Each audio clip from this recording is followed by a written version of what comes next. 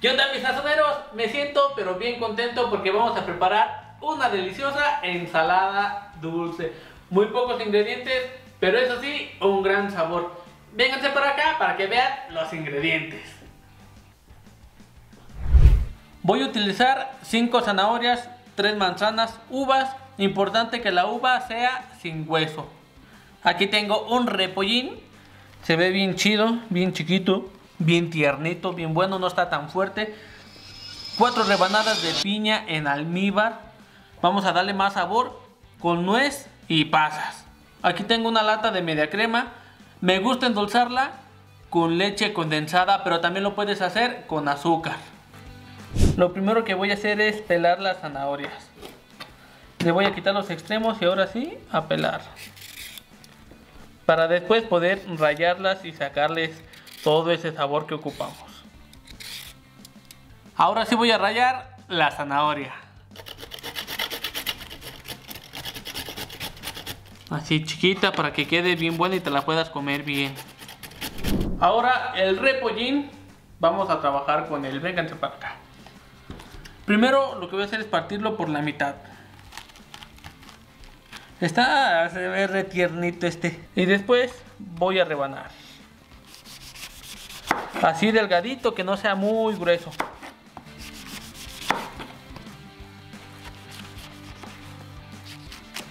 Del medio repollo, chequen cuánto utilicé.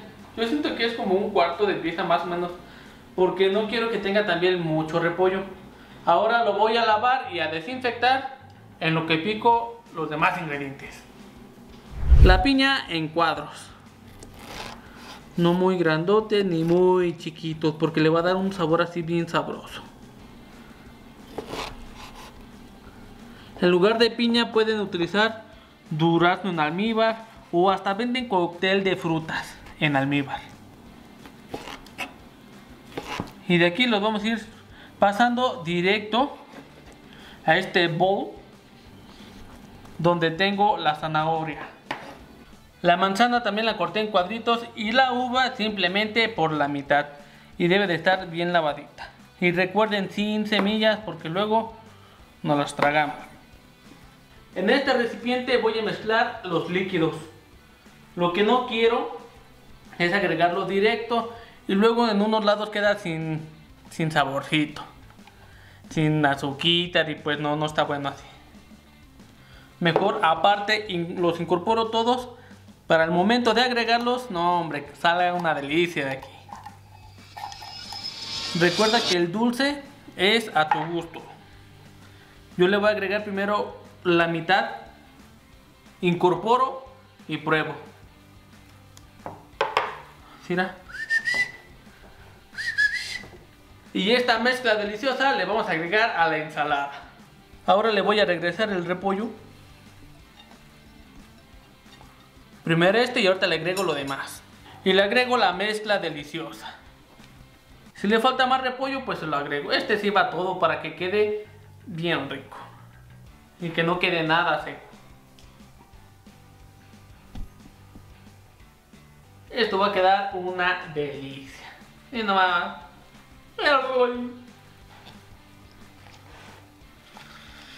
Ay, papá.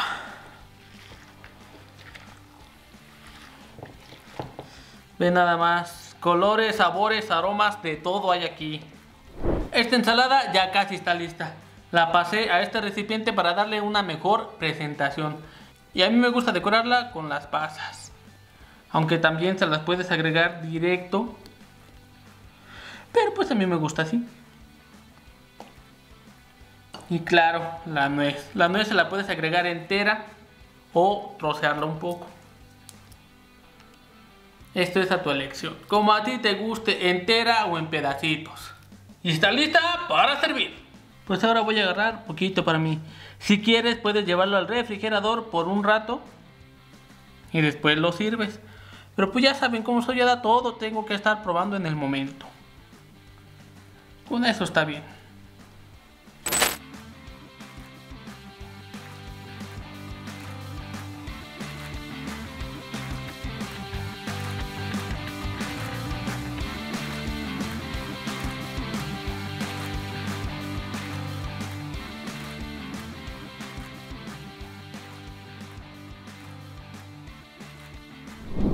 Mis sazoneros ni les dije provecho. Es que la neta se veía tan sabroso que ni voy a probarte una vez.